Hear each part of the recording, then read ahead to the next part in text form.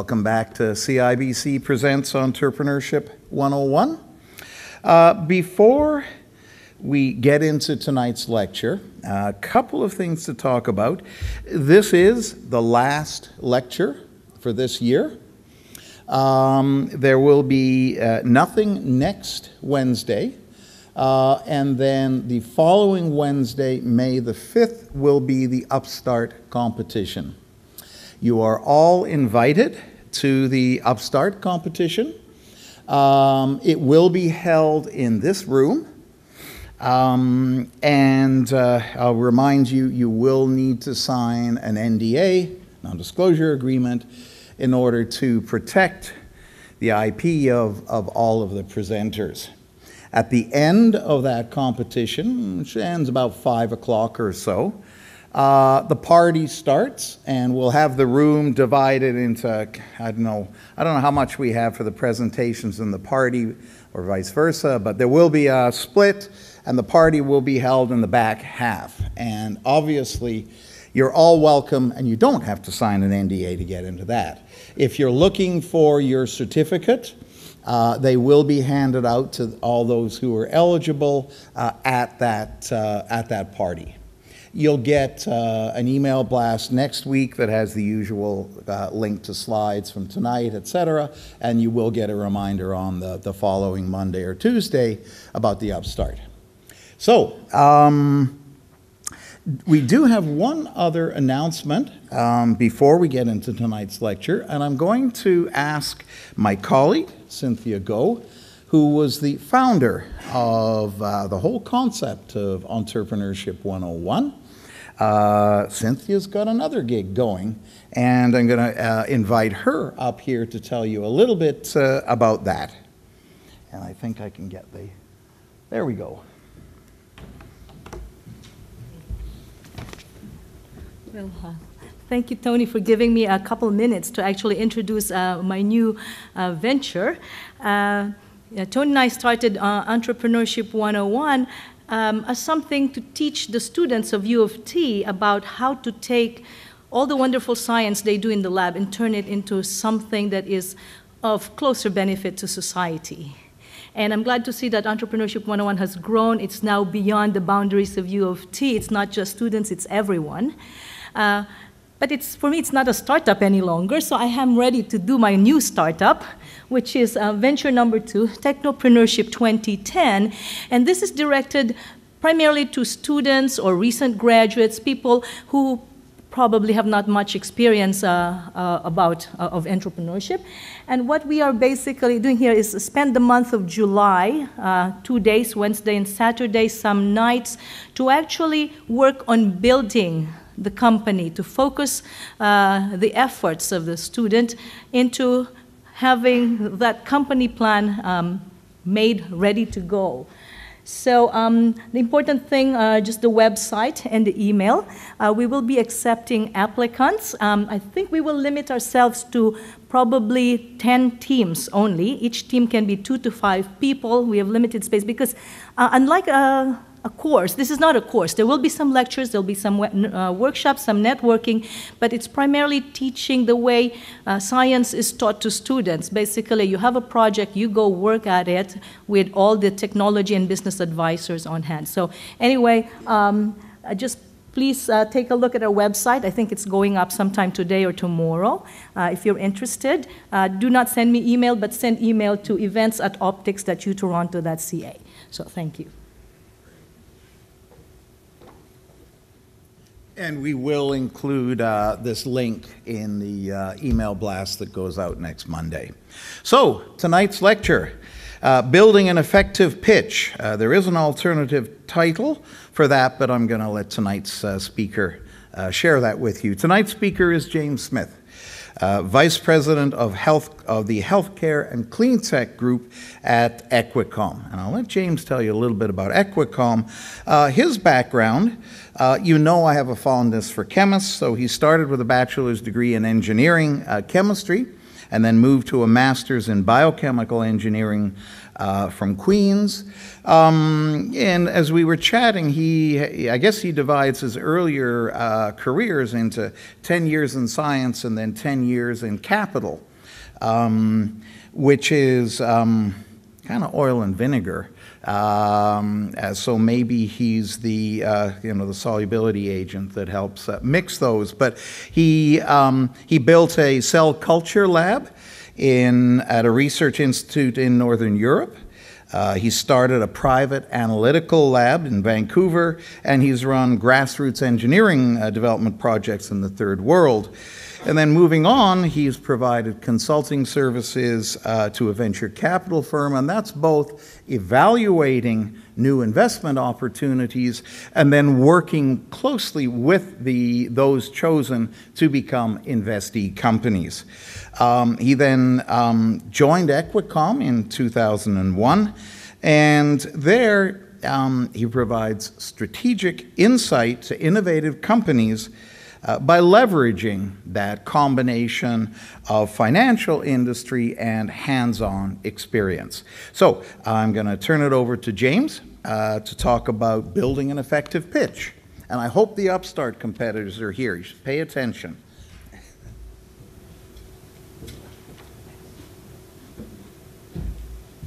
Thank you, Tony. So, uh, good afternoon, everybody. My name is James Smith, and I, uh, as Tony mentioned, I'm with the Equicom Group. Uh, I've been there for the last nine years. Uh, my life prior to that was more of a scientist. Uh, graduated about 1992 uh, from an engineering degree, and then similar times to what we're experiencing now came out of that. Really, not a lot of opportunities in 1992, and it became, you know, what do you do at that point? Obviously, uh, I loved the academic side, so it wasn't too hard for me to go right back in and continue to do academics. Um, but that was a really great time uh, in, in the world and in North America because there wasn't a lot of capital available and, and, and there was this recession going on. And that really, to me, is one of the key drivers of entrepreneurship is when, you know, it, it sounds harsh and brutal, but when people are out there and they're looking to, for new opportunities, they can't find opportunities that are readily available they go out, they seize capital, they try to make it happen on their own. And that's really what drives, that's the engine of our economy. So, uh, much like uh, a lot of uh, other people at that time, went out, started to find my own ways to, to, to bring money in the door and to feed myself. Uh, went out to BC. There was a fish war going on between uh, BC and, uh, and the US. So it was an opportunity to do some at that time, it was protein analysis to see the difference between the fish. You could tell where they had spawned. You could negotiate your treaties. And the US had lots of money to put into that kind of technology. Canada didn't, but the US was, they wanted the, the, the, the treaties, so they were willing to fund an entrepreneur who was willing to bring up the Canadian side of that expertise. So that was a great opportunity. Um, went on to uh, do some other entrepreneurial things but uh, was really focused on cell culture and, and, enjoyed that side of the science. Went to Denmark, did a lot of more scientific work on the cell culture side, worked with physicians on sort of artificial stomach type work, uh, to sort of use a generic term for it. And then uh, at that time came back in 2000, and again, a lot of opportunity here. The next bubble was forming, and uh, everyone was putting capital. It was kind of the reverse situation now. Lots of capital available lots of ideas to be funded. No one knew what was the right idea to put money into, so they needed some people with scientific expertise who could say, this is magic beans, this isn't. Uh, I don't necessarily, I wasn't necessarily much better than anybody else without a science background at doing that, but it was, uh, it was the right place at the right time kind of thing. And from there, it's been a great experience at Equicom where basically uh, people in my company, if you're, if you're doing a position like mine, you get to see uh, hundreds of different companies. You get to see every fund manager who invests in those type of companies, the analysts, the bankers that help to make those companies grow. And so you get a really great opportunity to see the entire industry from all perspectives. So I've, I've really enjoyed my time at Equicom over the last nine years or so in that perspective. But uh, fundamentally, my background and also what we do at Equicom are, are work well together in the sense that it is bridging that oil and, and vinegar with, uh, it's called a co-solvent. I've learned from uh, working with Biox, uh, a company making uh, biodiesel, but uh, um, bringing those two elements together is pretty challenging. And it, it takes, it takes some effort to, to bridge that gap. And there's a lot of time that people with scientific backgrounds can waste trying to get across things that people who have the money don't really care about. And meanwhile, there's a lot of things that scientific people, people working on the ideas have a lot of uh, important points they need to make to the people with money in order to get that money, and they're not necessarily achieving that. So, um, my goal today is to sort of in this brief period of time we have, is try to give you some of the basic points, some of the sort of low-hanging fruit of what we do at Equicom, in uh, specifically in the vehicle of, of presentations that might help you going forward with when you're trying to get your ideas across, pitch your your business and maybe try to win some money over some investment to, to take your ideas forward. Okay? So, I can move forward here. Uh, so, again, my name is James Smith, and I uh, gave you a bit of my background. Uh, again, why do, we, why do we do it? Why do we sort of bang our heads against the wall trying to move these, uh, these uh, you know, amazing scientific ideas forward, but they are you know, sometimes pretty radical ideas, pretty hard for people to get their heads around to believe in. You know, so why do we pursue these? Um, you know, and this could, this is a stock chart, but this could also reflect sort of my master's in a way, where, you know, I spent uh, two years trying to grow uh, um, animal cells, trying to grow uh, stomach cells and trying to grow insect cells. And uh, at one point down the hall, someone started decided, decided that they could start to growing fungus and seeing what that would be like. And uh, sure enough, in my T-flasks, I could show him the fungus that he was growing. It was growing really well. So, uh, so quite often, you know, you go along these, uh, these points where you work really hard, you're trying to get to success, and it can come down to a binary event, and, and uh, everything is pretty much uh, down to a new level, and you find yourself uh, starting over. So I think the point I'm trying to make here is we all know when you're working with life, uh, you don't necessarily have all the control. Um, and there's a lot of disappointments, there's a lot of frustrations, and it requires a lot of hard work. Just another example of even though you think you're making progress, binary event happens, you're back to, to zero.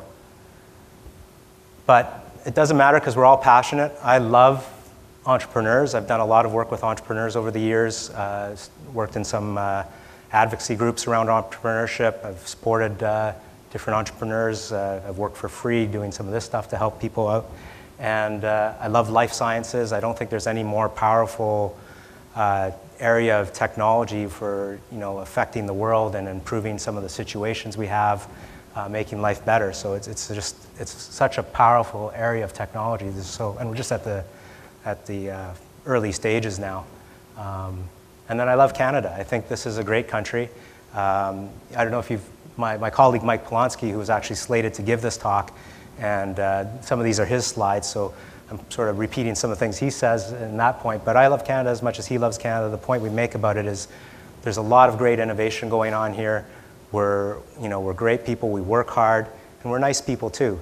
And uh, I think you know, that combination makes it a, a great uh, dynamic for, for pushing forward. Uh, but this is why investors like uh, this area, right? Because when things do go right, uh, they can go right in a big way and, uh, and make people lots of money and, and really make a, a dramatic change in the way things are done. So you have to remember that when you're trying to communicate to the people that have the money, that this is really what they care about.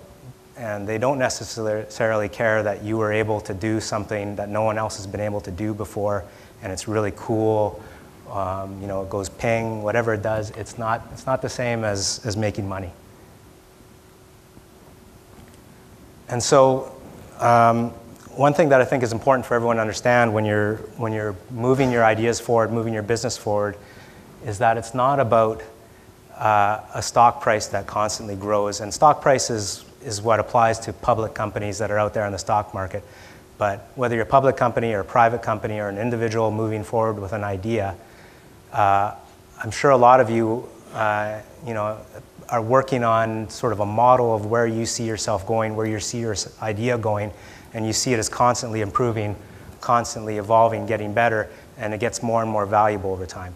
Just like, you know, most of you, if you're a salary paid person, you expect that you should get consistent raises over your life.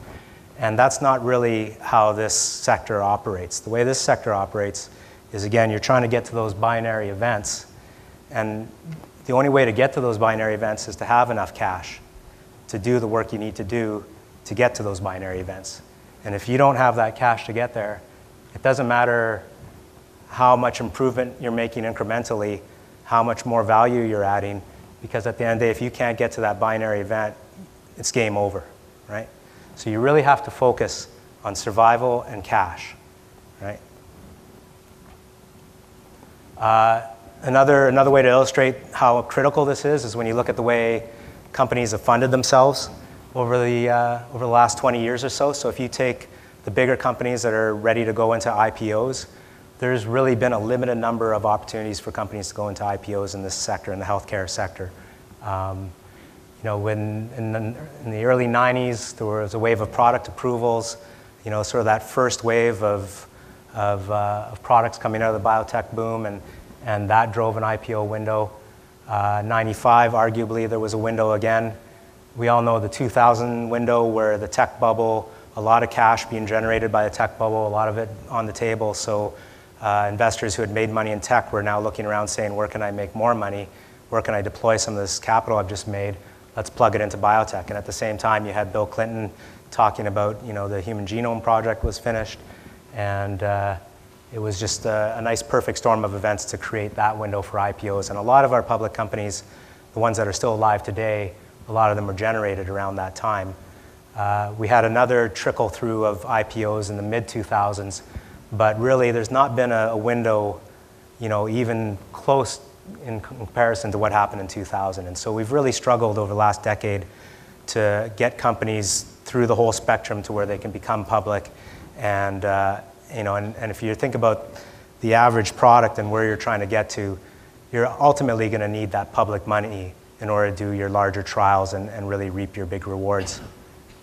So, from the company's perspective, what's keeping this window closed, or what's frustrating for everybody, valuations are low and they can't raise the money they need.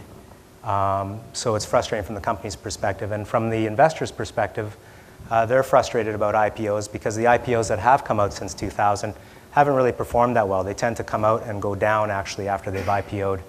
And so it's been frustrating for investors. So we kind of have this situation where you know no one's happy and nothing's getting done.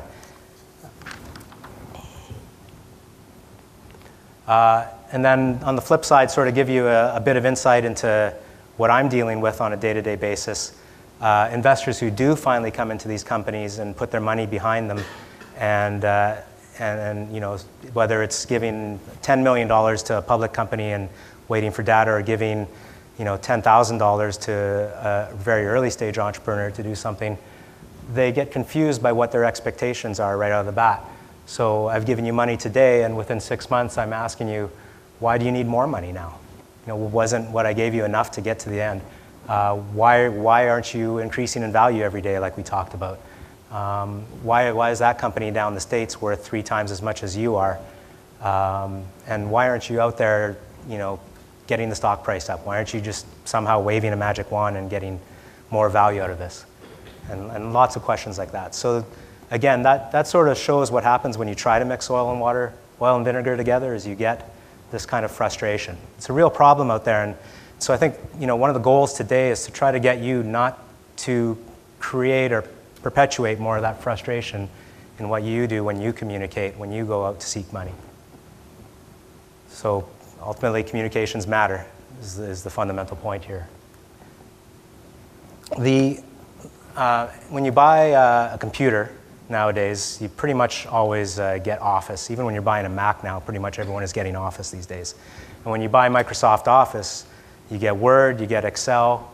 Uh, Word, everyone knows how to write, it, write I, I would hope, you know, and, and Excel, I think, you know, in this room, certainly, I think everyone uh, enjoys what a spreadsheet can do.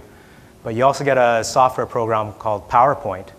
And, uh, and PowerPoint is, is probably more complex than Excel or, uh, or Word. Um, you know, I mean, argue about Excel, but I think PowerPoint has a lot more complexity to it.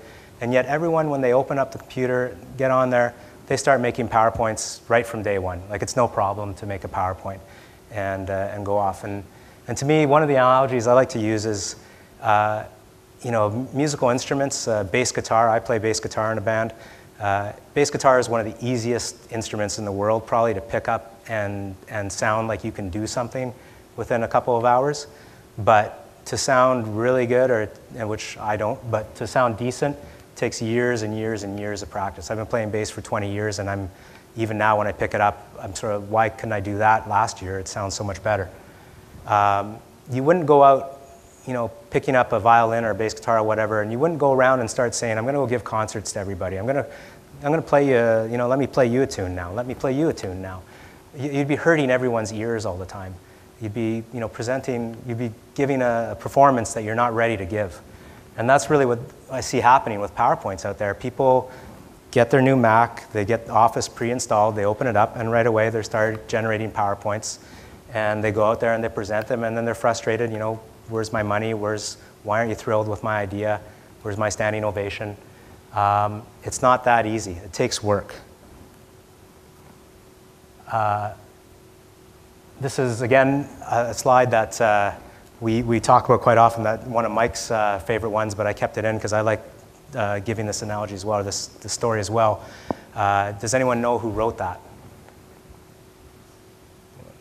So the, the person who wrote that, and this is someone who uses PowerPoint pretty much on a daily basis, works on it meticulously to communicate the strategies that they feel they need to communicate. And they're taking on one of the biggest uh, endeavors ever, uh, and they're, they're using PowerPoint every day uh, as one of their key and most effective tools for, for managing what they're doing. And that was General Petraeus uh, on PowerPoint. So, you know, regardless of your political leanings or, or your feelings on war or all that, the, the point I'm trying to make here is, you know, here's a guy who's got an incredible amount of uh, both logistics and he's got to win over hearts and minds, win over uh, people on concepts. And he's saying PowerPoint is the most important tool for him. Uh, he didn't have PowerPoint. It wasn't, uh, it wasn't quite perfected by the time he was around, but uh, again, it, it, conveys the idea of how important effective communications are. So when you look at uh, the situation, you know, around 1940 here, where things were not looking good at all, uh, if you were, if you were in this country, and you were starting to get pretty concerned about how things were going to end up, it was time to really get out there and motivate everybody and, and bring the hearts and minds back around. Uh, it wasn't done with, you know, here's my 40 page or 100 page business plan on how we're going to win this war, how we're going to change things. It wasn't done with, you know, a four hour lecture series on it or a panel of experts or anything. It was done with a 45 minute speech, right? And that's, that's critical to understand that you know you can you can command such attention and get such an effect with with so uh, so minimal um, I want to say an effort because it's still a monumental effort, but with so minimal uh, amount of communication, and and that's key to remember. You don't need to say everything; you just need to say the right thing. So. Uh, flip through that PowerPoint that slide pretty quickly there. And uh, we'll make this the interactive portion of the, uh, of the talk. So if I could have uh, sort of everyone just chime up here.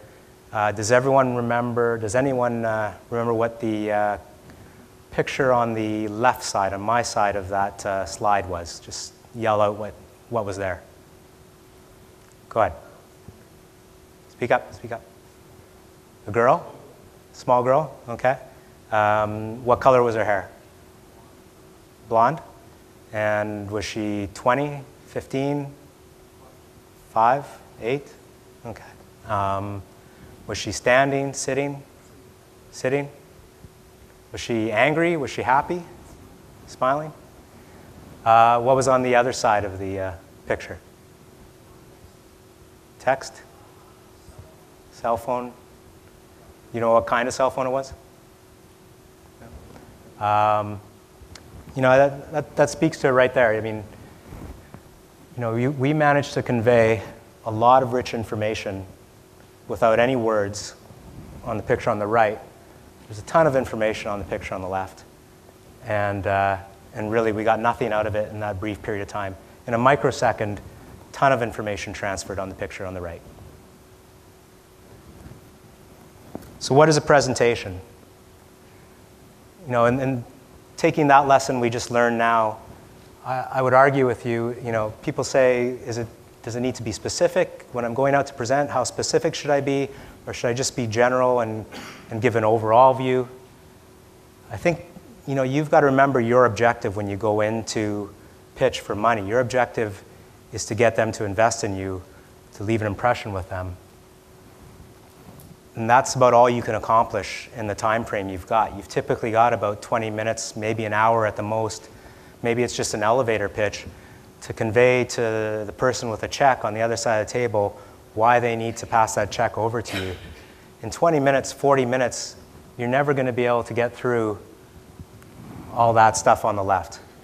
But if you can leave them with an impression, if they can walk out of that room and say, yeah, you know, that person presented to me and what I got out of that was something that makes me think I should go back and check out their website. I should read the business plan that they left on my desk.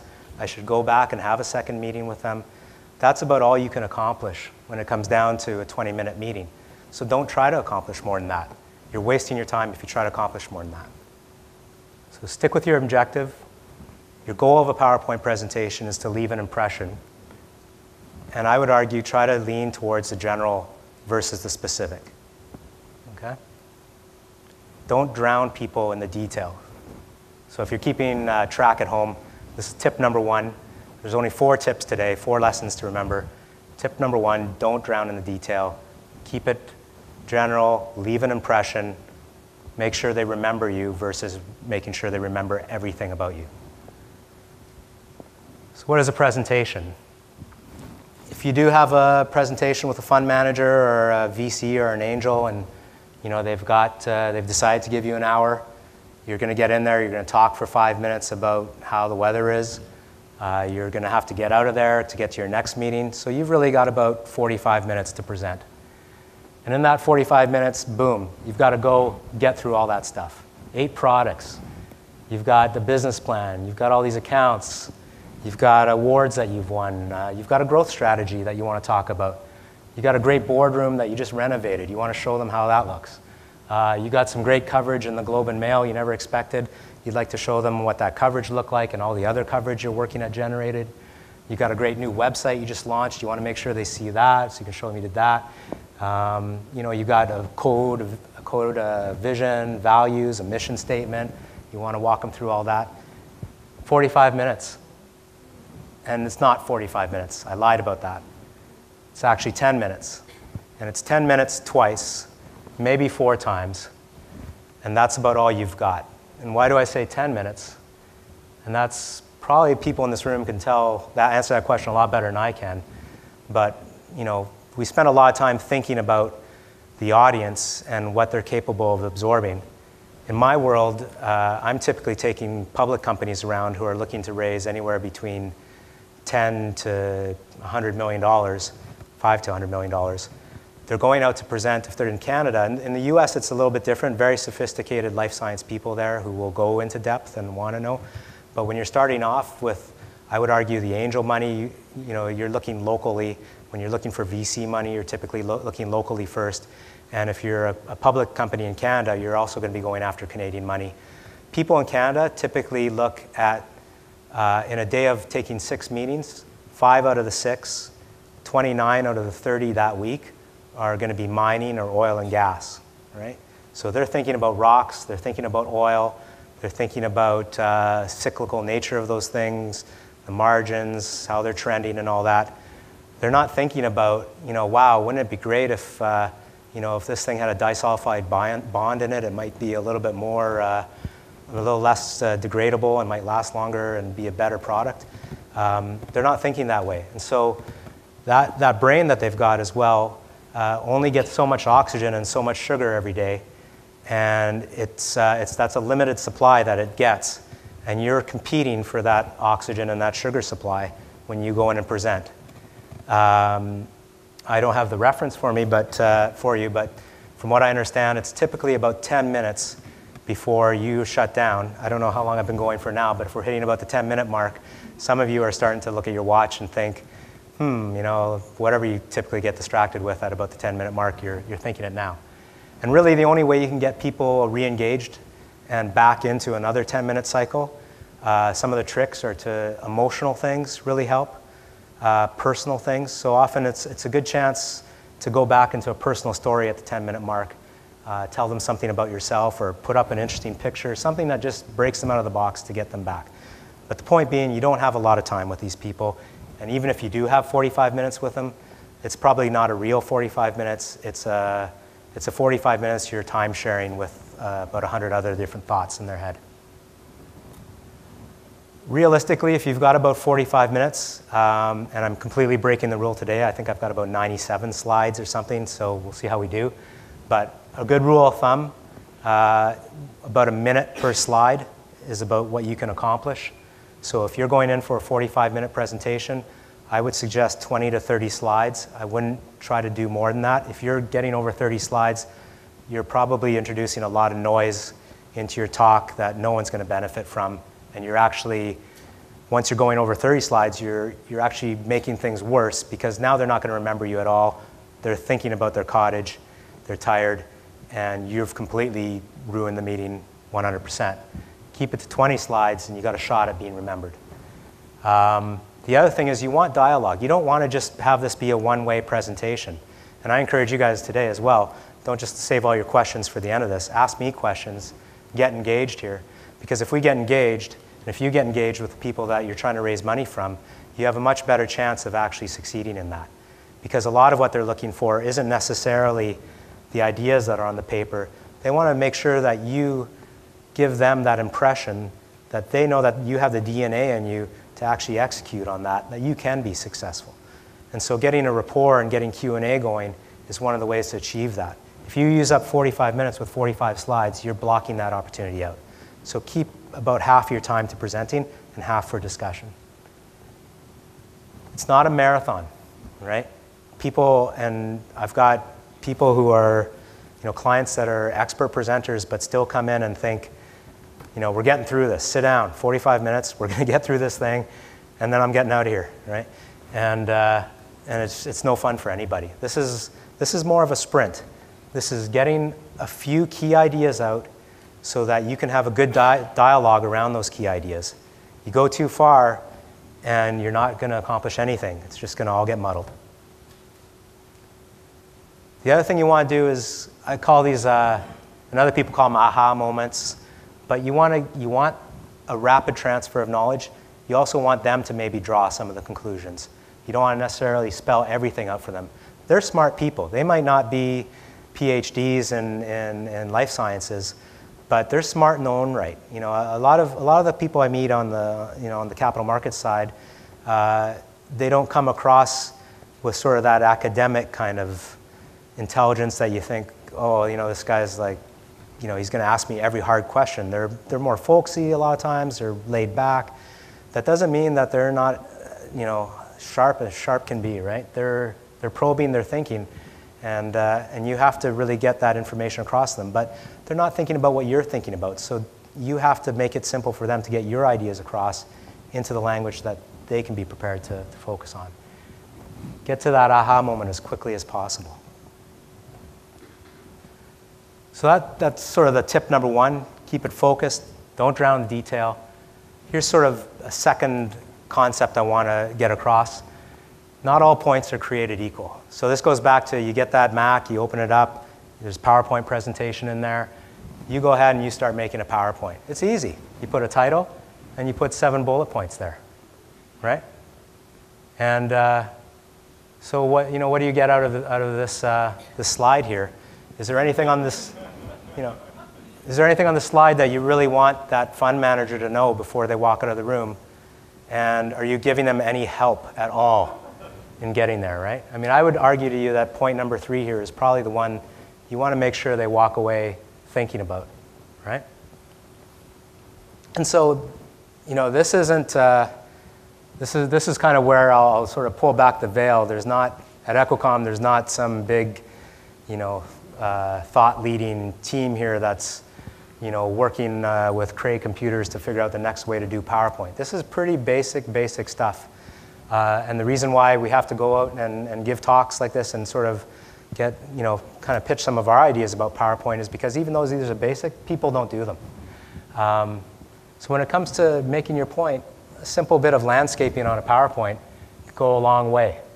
You know, our brain is designed for the eye to kind of pop around, jump from place to place. It's not designed to be an eyeball that's riveted on a rail that goes on one line, goes down the next line, goes down the next line, right? We like to jump around. We like to we like pattern recognition, looking at people's faces, looking at their eyes, lips, looking around.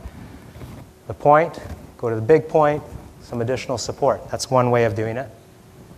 Maybe the point, the big supporting point, a few little extra things, and then some message at the bottom that you really think they need to know before you leave that slide, right?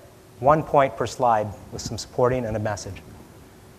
Maybe it's the point and three ways that that point can uh, manifest itself, or three ways you can execute on that point, or you know, and the underlying message about why that's important. You know, three ways that you can move forward on your point. The point is, tip number two, grid it to great. And uh, you know, if that helps you remember it, grids are, are you know, if there's a, we don't have a patent on it, but if there's a simple thing that we do that people go, wow, you know, how'd you come up with that? It ain't rocket science. It's putting things into grids versus six, seven bullet points in a row. Think about what's the thing that you want to emphasize. Think about balancing scale. Think about what should be your priority. So, another tip here a lot of people, when they uh, think about PowerPoint, think about that software program, they, uh, they assume PowerPoint is, uh, is sort of like flashcards. It's a bunch of flashcards that you have to get through, talk about this, talk about the next flashcard, talk about the next flashcard. I think if you're, if you're going to get in the mindset of how to do PowerPoint effectively, uh, think of PowerPoint as being a billboard. So you're going down the highway, you know, going down the Gardiner Expressway. You, you still get a lot of those billboards because people are paying a lot of money to put them up there. They must be valuable uh, for advertising. There must be a great impact that they have on, on showing value to the people that pay for them. Uh, but they don't say a lot, they say very little. And, uh, and I think that's, that's a great approach for when you're building your PowerPoints. Huge impact without saying a lot. Um, sort of tip number three that kind of plays into, into that billboard idea is don't be hung up on words so much. Um, there are a lot of other things that work in a PowerPoint maps, pictures, diagrams, illustrations. I haven't used a lot of words today. Um, can anyone tell me what this is? The letter G. So it's the letter G. It, uh, the reason you probably know that that's the letter G is not because you were born with you know, a set of instructions saying, whenever you see that, that's the letter G, right? What you know is that that is a picture of something. And you've seen that picture enough times to know that that's not a picture of my face or a picture of Tony's face. That's a picture of a letter. And then another part of your brain is going to go, that's a letter that sounds like G, which can be used in like my son's name, Gladstone, and uh, has a lot of importance to me. But that's, that's about it. It's, it's, it's, uh, letters are just pictures that are very small, very hard to see, and, uh, and we throw a lot of on a page, so there's a lot of computational work in our head to try to analyze all those pictures, make sense of them all as far as what those pictures means. Okay, we process them, their words. Okay, their words, we process them, their sentences. Okay, now their sentences. What do they mean to me? Are they important? Do I need to remember it? All those steps you're adding in, right? Um, you can accomplish a lot with a picture that you, you, you know, that you may not need to do with words. And if you are going to go with words, you can accomplish a lot with very powerful statements without getting into, you know, gum is important because it can be chewed, and when you chew it, it gives you pleasure in your mouth as you move your teeth back and forth. It gives you exercise of your jaw. And, you know, just some straight points that impact us all. And we all know these resonate. You're reading this and you know that this transfers to you quickly. And this is what you have to achieve when you're pitching. So, again, the right information, high quality information is what you want to focus on. And that generates long lasting, defined, profitable relationships, right? What is a presentation? Again, you know, we're saying it's about 20 to 30 slides. Um, but, you know, tip number three you should take home today, it's not about 20 to 30 slides. Um, so again, let's, let's look at this picture here. And we'll do another bit of audience interaction. Maybe we're at another 10 minute mark here so we can get everyone uh, revived. Um, so here's a picture. And if I could ask in the audience, anyone who um, English is not their first language to put up your hand. Okay?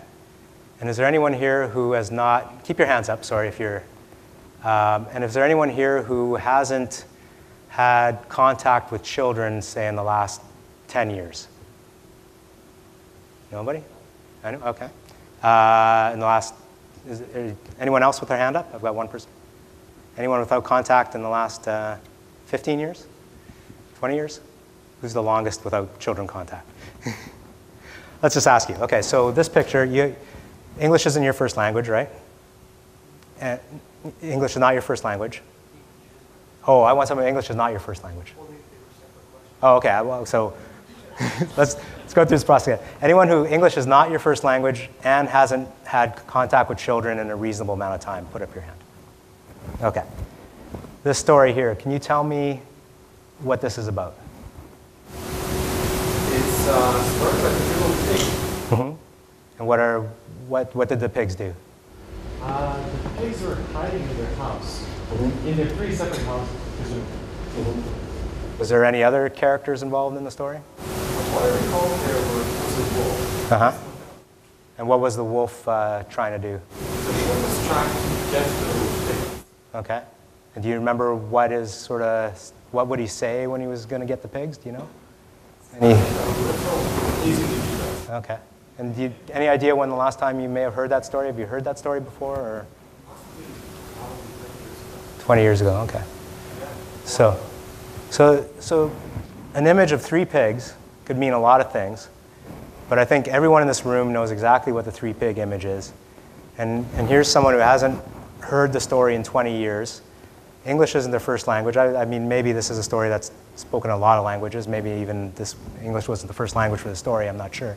But uh, the point being that, you know, so much information transferred with so little, with no words, no words, and essentially a picture of three pigs, right? And that's the power of, of, uh, of that, of, of communicating with that approach, what you can achieve. Um, so a lot of people ask which came first, the chicken or the egg, and uh, that's a question that no one seems to have answered quite yet.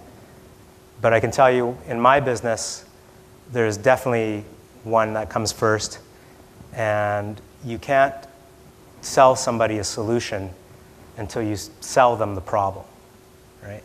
So that, that, that's pretty critical to the way we at least do things in, in my company and, and when we communicate.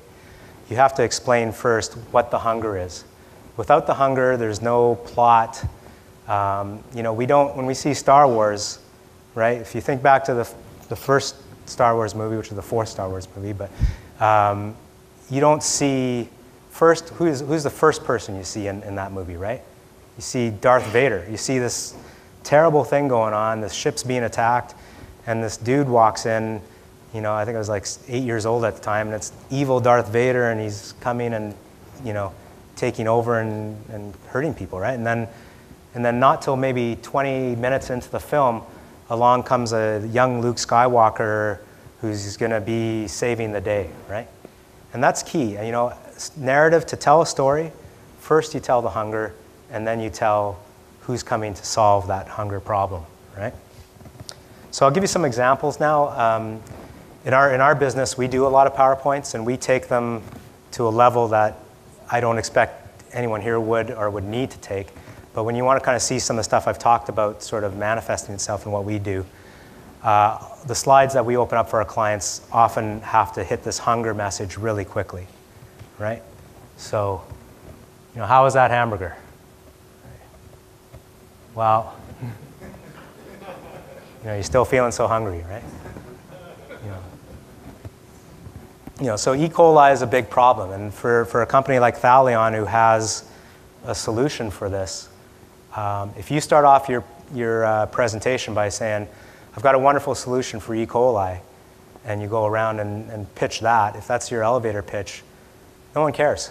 But if you say to people, did you know that there is this situation going on where more than 300,000 people uh, you know, get whacked by E. coli, and it, it could be, uh, it can end up ultimately in death for some of them. And there's no answer for that, except, by the way, what we've invented, which is a solution for this? Which one gets you more passionate? Which one gets your attention and gets you thinking, maybe I could make some money off of this, right? No, the underlying value proposition of uh, Conjuchem was uh, they could take a native peptide, which would degrade in minutes in the body, and by conjugating it to a larger molecule uh, like albumin, they could take that uh, short lived peptide and make it last for up to a week at a time in some cases. Um, you know, the heart has all kinds of issues, all these different ways of treating the heart uh, using heat damage the heart ultimately. So, you know, that's a problem. Coronary disease is a huge problem. 20% of all deaths are by coronary disease. You know, you got to put that down on the table first before you go walking in and telling people how you're going to have a solution for coronary disease. You know, you know arterial uh, atrial fibrillation, right? Uh, you know, a lot of people don't know what AF is, uh, especially if you're in the mining and gas space. But uh, you know, it's going to affect a lot of people, one in four. Right? So suddenly, if you're a fund manager and I tell you, and maybe there's a panel four people you're meeting with, I can say one in four of you are going to get this. Now it matters. Um, you know, peptides matter, right? Uh, proteins matter. Why, why should a business form itself on uh, servicing the protein industry? Well, because one third of all new products are, are proteins. This was for uh, Therapure. So, and this is important uh, sort of as a next concept, but kind of ties into this one. When you, when you talk about, when you've now explained what your hunger is and how, what your solution is to hunger, people get confused between value and value proposition, right? So, I, you know, you have people that, uh, you know, I've had people come into my office, uh, uh, coworkers, people I'm managing, and uh, you know, they might say, well, I'm really frustrated because I've done this, I've done this, I've done this, and no one recognized that I did that. You know, I deserve a raise for that, right? I should have done that. And that, you know, that works in that, in that scenario, right? But when you're going to ask people for money who you've met for the first time and they don't have any vested interest in anything you've done to date, uh, and you go in and you say, I got fast track approval, I've got manufacturing, I've proven this, I've got this done, uh, I should be worth way more than I am, right? That doesn't fly because it doesn't fly because not because you that might that might not be incorrect, that might be correct. Uh, you may be worth more than you're being credited for today based on what your idea is worth or what you've accomplished so far with your idea. But and that and it's important to establish all that stuff.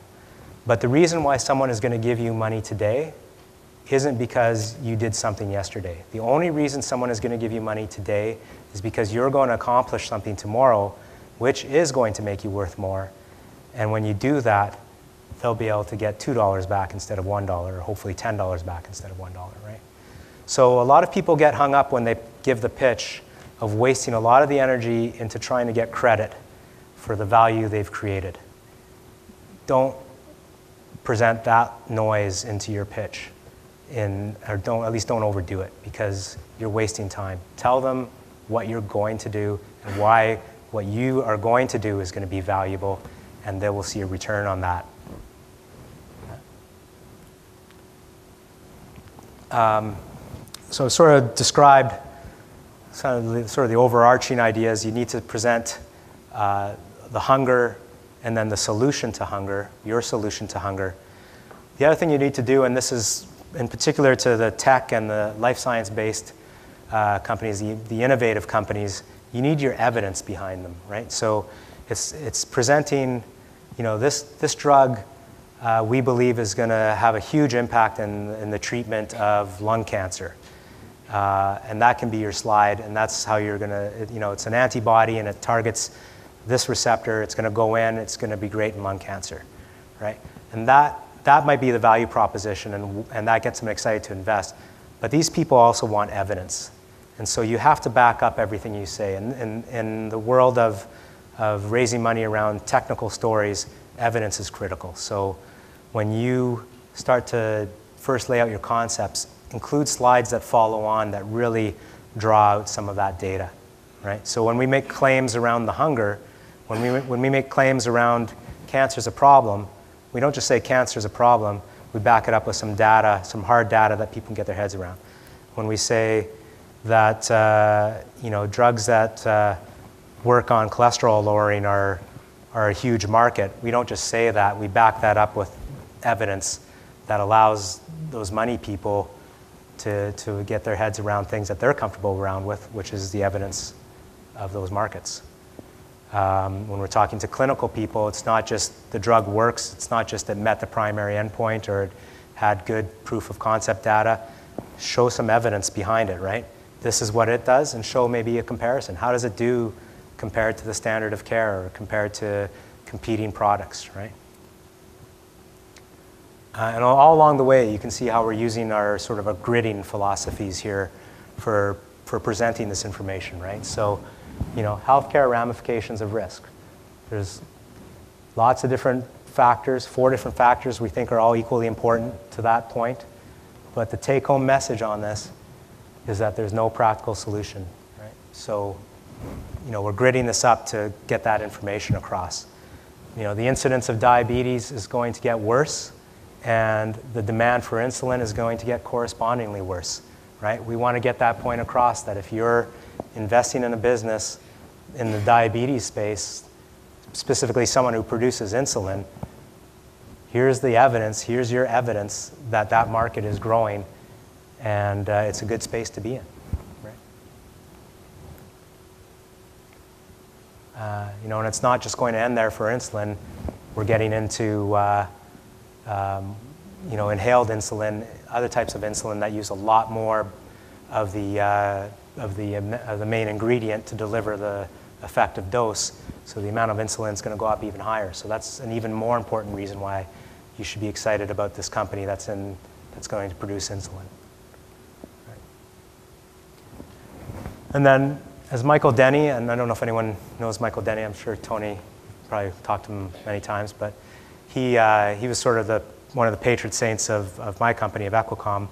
Uh, he was one of the uh, leading healthcare bankers in the late 90s, early 2000s on the healthcare side, did a lot of these, you know, 50, 180 million dollar IPOs, and was also uh, then went on to clean tech over the last five years in China, and has been really spearheading a lot of China and, and clean tech initiatives.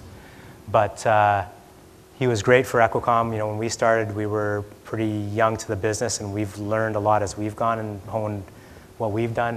He told us pretty much on day one, you have to show investors the 10 bagger. If you can't show an investor how they're going to make 10 times their money, um, they're probably not going to invest in you. And it's not necessarily, that might sound greedy or it might sound, you know, that, that's a bit extreme, but there's probably another story out there that is showing how they can do a 10 bagger. So if, if you're competing against that, it doesn't matter whether it's right or wrong. He can take as money as somebody else who, who is going to meet that, that requirement. So when you're thinking about your stories, think about how, how can you achieve that 10 bagger. They're not all 10 baggers. They're two, three baggers, you know, depending on your cost of capital, your expenses and all that. They don't have to be 10 baggers, but I think for the, you know, for the right, the big companies that we need to have in Ontario that employ lots of people, that drive the industry forward, they're typically 10 bagger stories. So these are some of the examples of getting 10 bagger slides across to people, right? The current market for our drug would have been $140 million, but you know, that's only if we can get into these types of graft versus host diseases, right? If we can branch into a paradigm shifting market of using our technology to deal with autoimmune diseases and blood disorders and all that, we go from a little $140 million market that you know, is very credible. We've shown you a lot of evidence that we can achieve that market. And we've sold you today on give us money today to go after that market.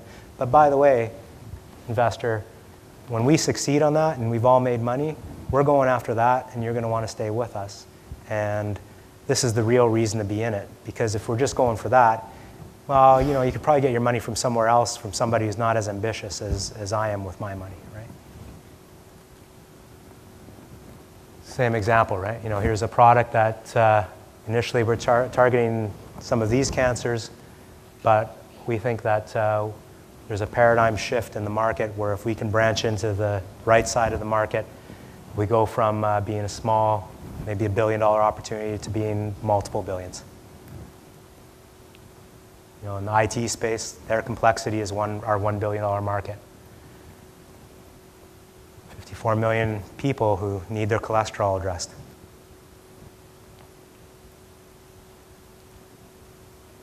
You know, one farm producing all the insulin for the world was their value proposition, right? Not six bullet points to explain how one farm can produce all the insulin for the world. And if I ask you to now, and I will, remember this slide tonight, I'm sure when you go home, you can close your eyes and you will be able to visualize that slide. Uh, but you won't be able to visualize any text slides you've seen today. So remember, high quality evidence all the way through. Um, again, gridding to great, getting across everything you have, but not with a lot of messages. Arius here, their value proposition was they could generate a, a pipeline of endless candidates. 400 antibodies could, had already been produced out of their engine. Five partnerships have been driven off of that uh, engine of antibodies. And from those partnerships, uh, and in addition to those five partnerships, those five partnerships took a bunch of the antibodies out of the 400. We took three antibodies out of the 400 that we were developing internally, all for ourselves. Company got acquired for 190 million. Point is, that was pretty much the only slide you had to present to anybody, right? Antibodies are huge. Was sort of an, you know, if you want to do the hunger slide, everyone wants antibodies. Companies are buying antibodies, companies like crazy. We are an antibody company with all the credibility of partnerships and internal products. You know, you don't need to show uh, ugly, terrible pictures of rats opened up and, you know, and, uh, you know, how tumors are shrinking. The, the people who uh, want to write you the check are perfectly happy to see a more subtle version of what you're trying to achieve. They still want to know that you're achieving results, but they're probably more concerned about the 25% number than the one-off anecdotal patient picture that you know, almost creates skepticism in their mind when they see that. It's the 25% over the larger group that actually matters to them. But you won't forget that picture. Um, you know, details on the data. Again, gridding it up. This, I want to describe this uh, CRO. I, you know, six lines of text on what a CRO does, or grid it up so you can say, this is who we are. First thing you're going to remember is we are the fastest growing profit. We are a fast growing profitable CRO. If you, you know, someone who's out in that hallway will get that message. You know, someone at the back of the room will then move on and get those four messages, top 10, 400, 90, 8 out of 10. And then if you really care to read on, you can, but you've got some great information without having spent any time on that slide. Leading hospitals.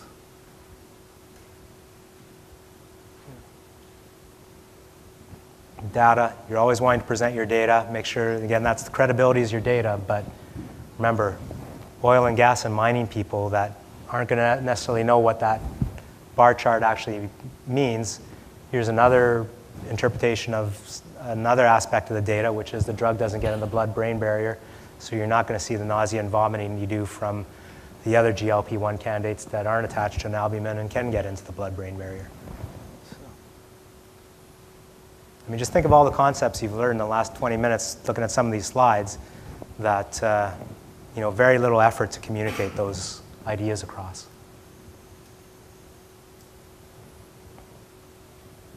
You know, when you're showing the progress of your trial and the data and, and what you're trying to do, this is kind of maybe specific to those of you advancing uh, uh, products in clinics or preclinical trials.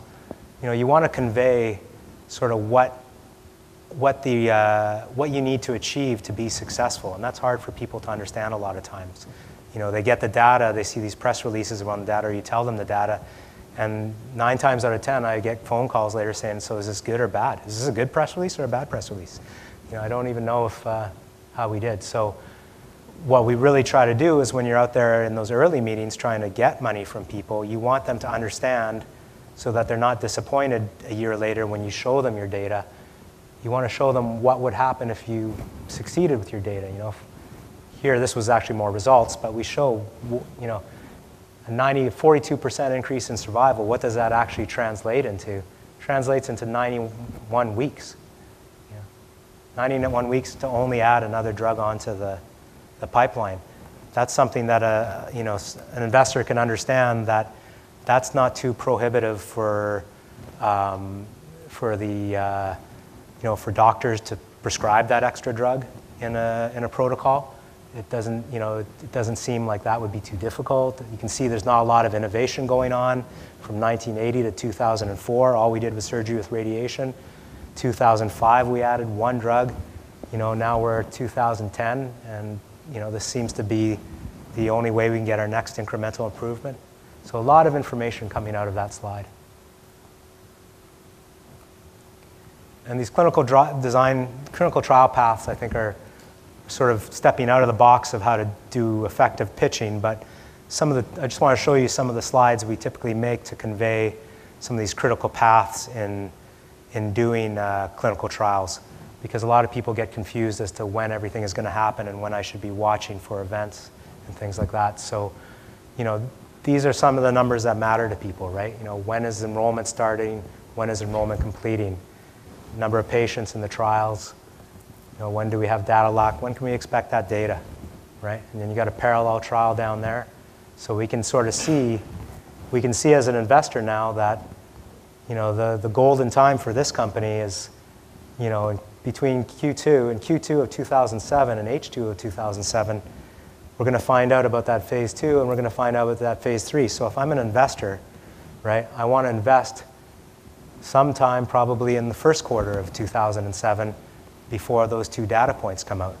If you come back to me in 2005 and you're asking me for money in 2005, you're going to have a hard time. You've got to convince me that I've got to hang in there until that data comes in 2007 and I get one of those ups or downs that we showed in those first couple of slides.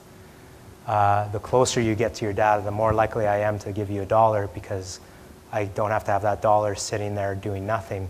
It's actually probably growing. But, uh, but the challenge is, you know, by laying this out, you have a better shot at getting the people at the front end of the spectrum because at least you've laid a clear plan for them to see how you get to the end. And if, if they are going to invest there, maybe they won't see your stock price go up or any other kind of measurement, but they're going to see you tick off those boxes, and that's going to make them comfortable. It brings me to another story, which I just saw this weekend.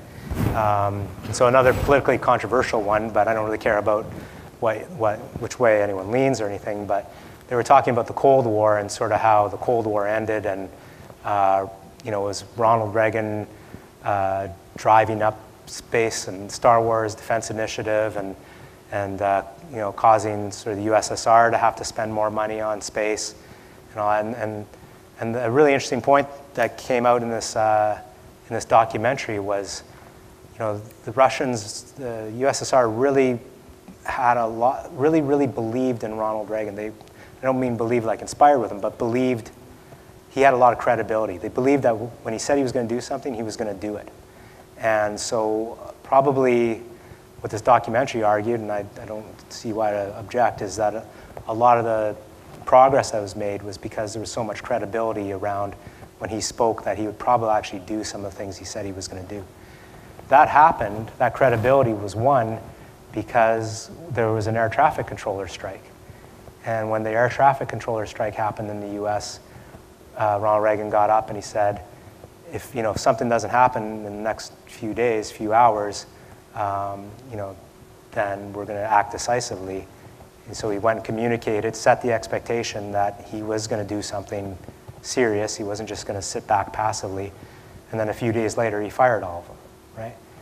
That probably was pretty upsetting for those air traffic controllers and for people in the US who were dealing with that.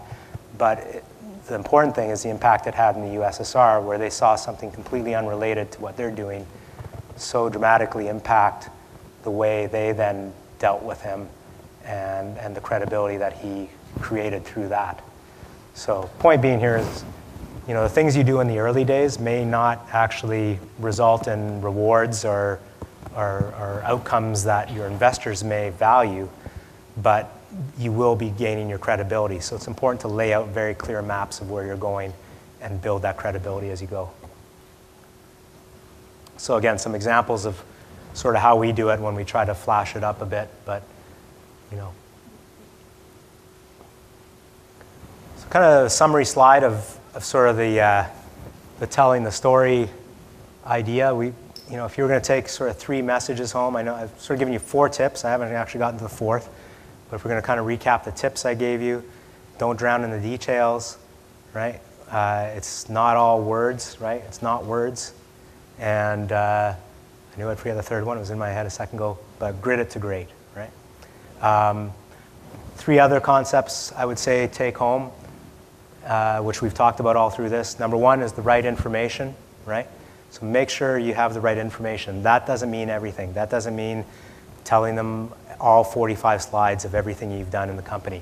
Picking the right information those investors need to know to make an effective investment decision. Right? Distill those messages down. You need to transfer that information as rapidly as possible, right? Because you know, I'm, I'm, I'm hoping, I'm pretty sure most of you want to be here. You've, you know, you've known about this event. You came to be here because um, you want to hopefully learn something. Uh, investor meetings where you're asking for money, they don't necessarily want to be there. And, uh, and so you're competing for every second of their attention. I went to a meeting uh, two weeks ago. The guy was 25 minutes late and uh, walked in, uh, spent five minutes in the room, and he said, uh, You know, I don't invest in early stage stuff anyways, and walked out. And that was our meeting. And, uh, you know, that that was incredibly frustrating. I don't really know how we would have kind of avoided that one differently, but certainly, you know, that just goes to show how these things go, how little time you can have to capture, uh, capture them. So you have to transfer that information rapidly, and that goes sort of those three points grid it up, use pictures, don't drown details. And then with high recall, right? So imagery, brevity, stories, impact, emotion, that's the things that make you uh, remember stories. Right? So, just some clothing thoughts on uh, sort of wrapping it up. Uh, a lot of people ask me, uh, and Mike and, and people in our group, what, uh, what about presentation training, right? You've, you've talked about giving a PowerPoint and sort of some of the things that I should go on my computer and work on and lay out. But, you know, I have to get up in front of everybody and, and give that talk. And how should I do it? Should I have my hands in my pockets? Should I, you know, have my arms crossed? Should I walk around the room and wave? Should I walk in the audience and talk to people? What's the right way to present? And I think the answer to that is I, I don't have an answer for that. Um, what I've found uh, is most effective is to just be authentic.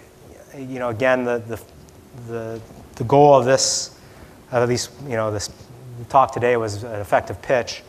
You're trying to get money from people.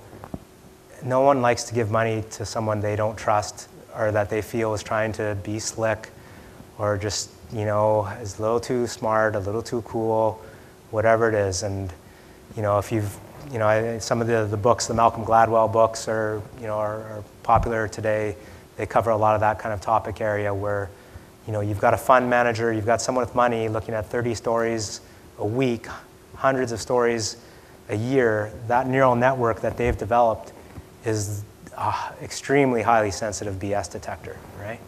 And so there's nothing you can do except be yourself, because anything else you do is just going to fail. Um, so for me, I'm not someone who gets up and jumps around and walks around. I'm tend to be fairly low key, but I, you know, I try to try to make it uh, slightly uh, interesting if I can. But that, that's, that's, this is what I'm like, and this is how I present. I've, you know, people, uh, some people come in and they tell jokes for half an hour, and uh, you know, I, I caution them that they've wasted a lot of valuable time that they could have transferred information across. But it is them, and it does. They've had some incredible results with the relationships they've had because they are authentic in the way they are.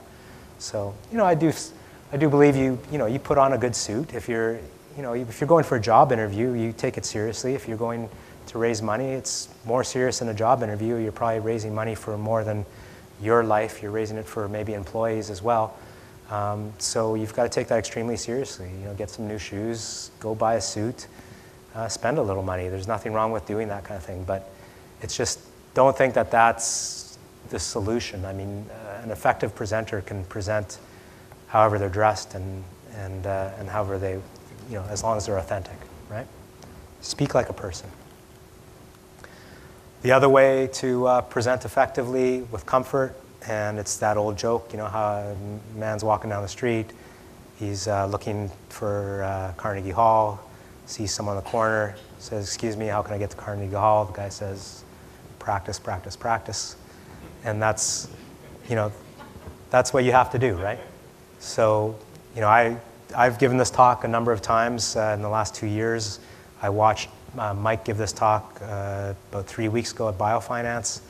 Um, it doesn't mean I didn't spend probably from 2 o'clock on today um, thinking, you know, in, in, addition to laying out slides over the last couple weeks, but, you know, I spent from 2 o'clock today thinking about what do I want to say, you know, are there stories I can tell, anything I can say to kind of wake people up a bit and, and so on. So the more you practice, the more comfortable you are, the more comfortable you are, the more authentic you are, the better your story is going to come across.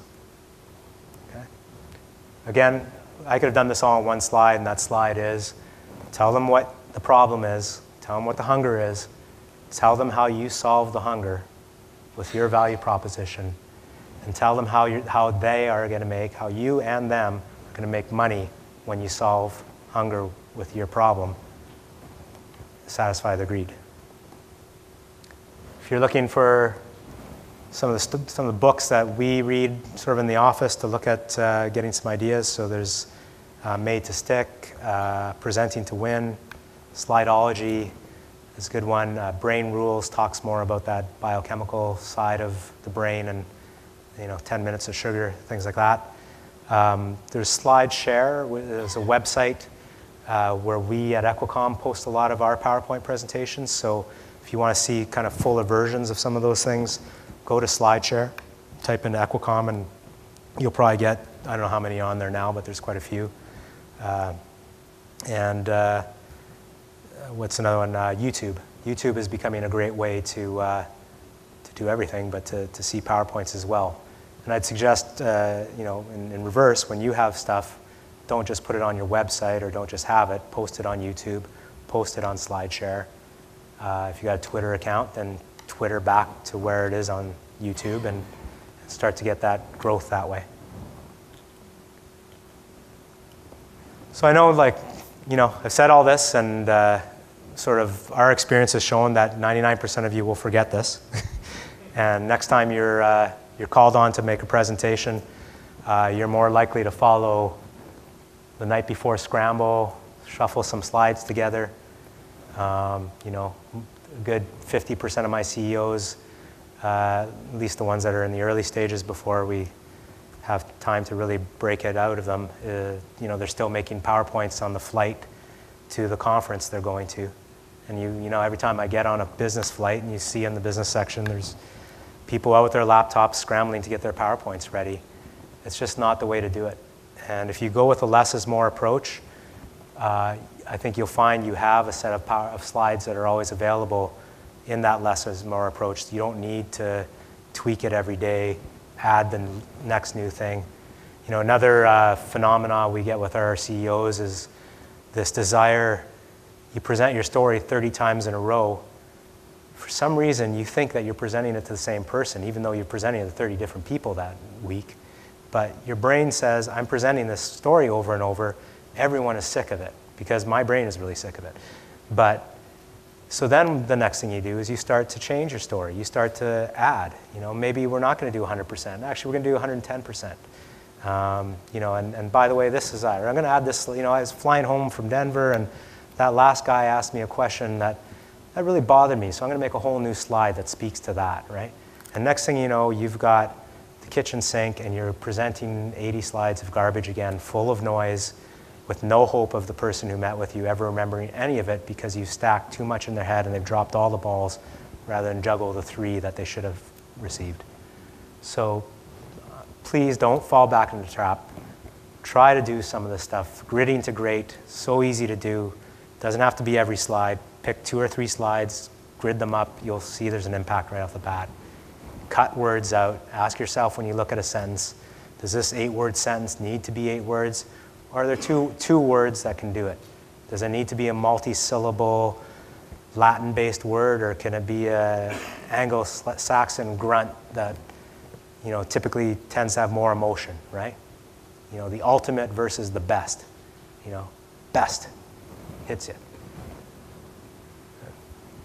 And then my fourth tip, tip number four, is this does take a lot of hard work. You know, I mean, it seems like hard work when you're scrambling to throw your PowerPoint together on a business class flight and you're wedged between two people. That seems like hard work, but that's, that's unfortunate hard work. Hard work is, you know, staying up late at night like you all do, but staying up late at night to do this. Focus on honing that PowerPoint, you know, and uh, bring that entrepreneurial spirit to your PowerPoints. And remember, all along the way, you need that money. If you don't get that money, it doesn't matter what you do. But if you get that money and if you get a lot of it, you can accomplish some pretty big things. And if you achieve something, then you're able to get the next round of money. okay? Thank you.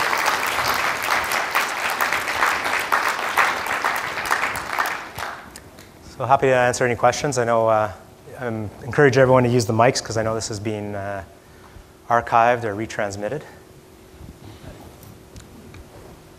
Hi, thanks uh, very much for such an insightful and uh, really interesting and entertaining uh, presentation. I think it shows us sort of how to keep on plowing through this 10 minutes. thanks for embodying that. Thank um, you. How, I presume we have a room full of people that are very passionate about what we do. So you know, to us, when we're attempting to distill these ideas into something that's that's that's very sort of um, uh, you know compact and, and, understandable, what advice could you give, um, really on the basis of how how do we go through the process of distillation? How do we make through the noise and really get to the signal? Yeah, I mean, you know, you see kind of different methods. I mean, you can pick up textbooks on PowerPoint and they talk about different methods, which are um, you know, I think there's validity to a lot of them. Basically, you know, hoppers or bubbles, I've heard them called. But, you know, if you're going to work with 20 slides, and I'd recommend 20 to 30 slides, you probably only have enough room for maybe five, five sort of mini areas within that.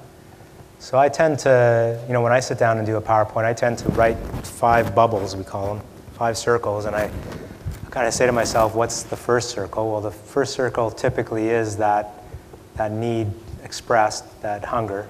So I want to you know, make, make a hopper of things that fit into the hunger basket there. And then how do we address that hunger? So what's our, what's our solution? And then typically from there, and you know, and going back, and the hunger one, you know, your, your first slide is maybe what is the hunger, and then you've got to always back things up with evidence. So hunger, evidence. Next one is solution, evidence that the solution works, right? And then, then, you know, then there's some variability after that. You may want to do a section on, uh, you know, you've, you've, you've sat, there's hunger and you satisfied the hunger. How are we actually going to get to the point where we can roll that product out? So maybe it's the development challenge of it, right? Or maybe it's, uh, um, um, you know, what are, what are some of the other ones? Um, you know, what, uh, what are the nuances of the regulatory process? You know, what are, what, what are some of the hurdles we have to overcome in there? There's probably a hopper after that, which is um, you know, sort of the next wave, where do we grow beyond the core idea? You could look at that. Um, and a hopper on, on just kind of the basic corporate facts. You know, there's this many employees, here's a board of directors, uh, here's our capital structure, and you know, how we're funded, how we expect to be funded.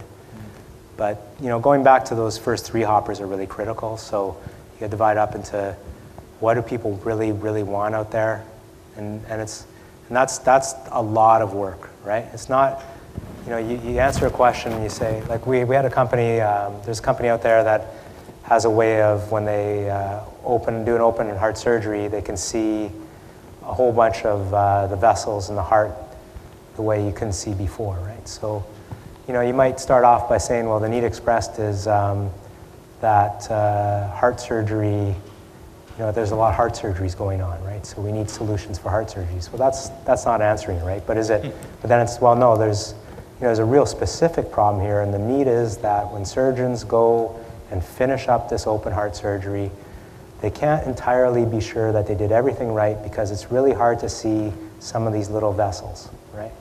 And so that's the true need express, is that they close that up without 100% confidence, right? It's a lack of confidence, right? So we provide confidence by, you know, by being able to allow you to visualize that. What's that confidence worth? Let's talk about the markets. That confidence is worth, well, how, what, what does it cost when you have to go back for a second heart surgery? Or when that patient dies, or complications, right? So that's the market. So so the A, B, C, the hunger, satisfy it, financial ramification. But if the work goes into drilling down, making sure you really know what your hunger is, right? It's, it's not always the first one you think it is. That might be a bigger hunger, but six of your competitors and four companies that have been doing that for the last 20 years might also be satisfying that perfectly well. It's why do you need to exist, you know, apart from everybody else? Thanks very much. It's a lot of great food for food for thought. Thank you. Hi. Um, My question is that your slides focused on the opportunity and the idea or the product, and there wasn't anything I saw that uh, spoke to, say, the management team and the people that were behind it. Yeah. That Yeah. is something that, from my perhaps limited experience, is something that um, VC investors are interested in. Do you have any suggestions on how you'd present that, or, and would you include that? I mean, you just a moment ago mentioned you might include it in your sort of fifth bubble Yeah. section. Well, I think there's two reasons. Uh, So um, there's a paradox here, right? When people do surveys of investors and they say, you know, what's the number one reason you chose to invest? It's management, right? It's, believing that management can execute the idea. So management is the most important thing there is. So I don't argue with that. I agree with that. Um, and the, so two things. One is when it came down to here, I don't think how you communicate management, board of directors, or intellectual property necessarily has to be that innovative or flashy because it's pretty straightforward stuff. So I didn't think it lent itself well to saying these are the slides that you have to take up a notch. Okay. A management team can be a list of names, right? Okay. Um, but even there, I th- but there's another uh, thing to, to consider here, and that's um, management, IP, board of directors, scientific advisory board are things that if you don't have those and they're not of a certain quality, you probably shouldn't be in the game in the first place, right? Like those are those are so essential now that I they're, they're cliche in a way when it comes to presenting to the more sophisticated investors. So you have to have those slides, but I really find you know presenting your man, when you, people put up like a management team and a director team like okay, let me walk you through this. Here's here's the president. He was this. Okay, here's the VP. He was this. We got this guy. He's our IT guy. We got him out of here, and he's amazing. He did this and this, right? And you're, again, now they've forgotten the one thing you want to remember, which is you solve hunger, right? So they will they will get to know with the management team. The what's critical with the management team is that the CEO presents, so that no one else presents. You can't have you know me presenting your company. Uh, you know it's got to be the CEO. Uh, it can't be the communication person or you know the person you think is the best presenter because they're dynamic or something. it should be the CEO. You know, they're the decision maker. And when you do that, when the CEO presents, then they get the DNA impression from that CEO. And again, it's that Malcolm Gladwell neural network, seeing a million of these people. You know, I don't need a slide with you walking me through these people to feel whether they're good or not. Where my neural network doesn't work is I don't know how to assess, you know, your, your, your biological idea here, because my neural network was never perfected for that. But my neural network is pretty adept at, at assessing people and whether they can deliver, whether they can be confident, execute, you know, I, that kind of thing. I agree with that. I was, it was, the question was more that there, it wasn't mentioned, I guess, in, in a Mhm. presentation, and I think it is important, so Yeah, is more self-explanatory, I guess. so. yeah. Thank so you. that, that definitely critical to list their names and, and be proud of them. My question is, how effective is it to, I mean, yes, the visuals are important, yes, distilling your message down in your PowerPoint is important. Do you have your clients leave the paper piece afterwards with a further discussion or like, like giving more details to Mhm. the people that, that you're meeting with? Yeah, I mean, that, that's, that's an interesting one too, because I had, uh, I just did a PowerPoint for someone today, and they added three slides back in because they felt there was all this detail meeting, missing, so, and then we looked at that, and, uh, and then we took it back out. And the, you know, I think, I think the reason, you know, again, you to drown people in, in detail, and, uh, like, uh, I'm trying to, th- trying to think how I can answer that.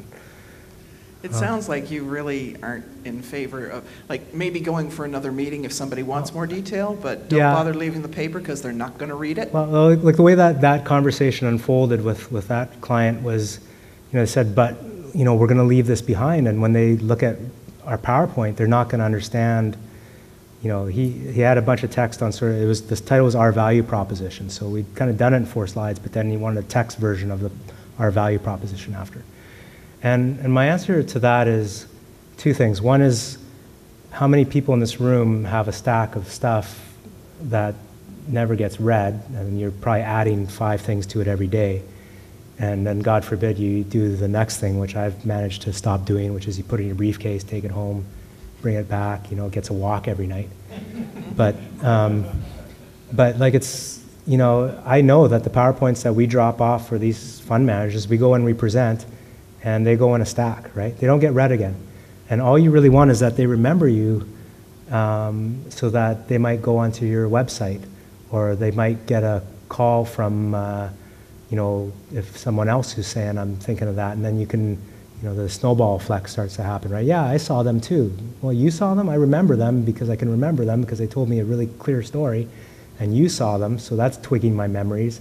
So yeah, let's let's get, let's go look at that one a bit more. Let's go to the website, right? But you know, maybe they might scribble some notes on the PowerPoint and go back. I've had a few analysts. Analysts, you know, they're the more uptight, anal type of people. So when you go in, they'll probably pull the PowerPoint from the one you gave them four years ago with their notes and rehash what you said. But most people, it goes in a pile that never gets opened again.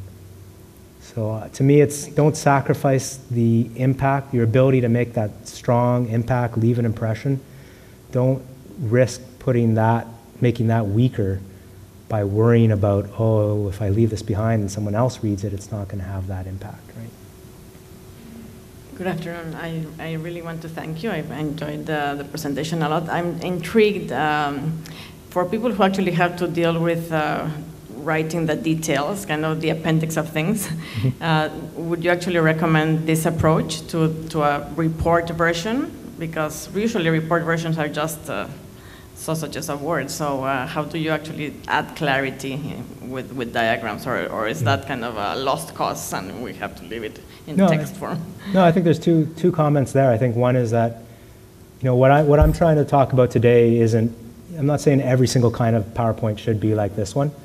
You know, you have to present, you know, to committees and to working groups and things like that. And that's not this kind of PowerPoint, right? This is a PowerPoint when you're meeting with potentially a stranger or someone you don't meet very often, and you need you need action to happen out of this, right? You need to get across something to someone who's, you know, you're completely new to them, both in the concepts and you and everything. And you've got to leave that lasting impression and force action that they'll call you back or that something could come of this, right? That's a lot different than a PowerPoint in a working group when you just want to go through, you know, all these ideas and documents and get through and, and make sure you understand. I do think between the two, there's a lot of room. I see, you know, a lot of audit groups, uh, you know, the auditors, the banks. Uh, you know, I won't point any fingers at MaRS. I, I can't, but uh, you know, there's different, you know, different groups out there that present reports, and they present reports and don't avail themselves of a lot of the types of tools that are here. Which again, you know, when you pick up an annual report, we do annual reports as well. When you pick up an annual report, I've never seen anyone pick up an annual report. But okay, annual report. All right, all right. No, like they pick up an annual report. Oh, what's this? Oh, yeah, good. Yeah, well, okay. Let's see here. Okay. Oh, that, well, that's an interesting picture, right? So, like these reports that people write, there should be 10% of the time and effort put into distilling some information down for people so that you know this doesn't become another document that they say this is never going to get open. I'm putting this way down on that reading pile. It's not even making it in the briefcase because it's all text. Like I have to. This is of my holiday reading pile now, right? So, whereas if you at least have some front end stuff that's more PowerPointy or at least more to this spirit of this kind of communication, I think people would pick it up. They'd get some, you know, they get the take home messages. They get an impression from it, and again, it would achieve sort of the same thing, which is I got a good impression from this. I'll take the time to read the following pages, right? So, I wish I wish people would do that more. Know, we're just all so busy, right? I mean, it's getting worse and worse. It's, you know, everyone's got hundreds of emails, and you know, I, it's it's going to pervade everything. I find myself talking to my staff now and saying, you know, when you communicate in emails, especially because we're a client-focused business, right? You have to transfer information in your emails to your clients, and in the same philosophy, the right information rapidly with high recall, because you know, my, my CEOs are out traveling North America, traveling Europe, going from airport to airport, looking through a BlackBerry, trying to decide what's effective and not effective and what's important and stuff.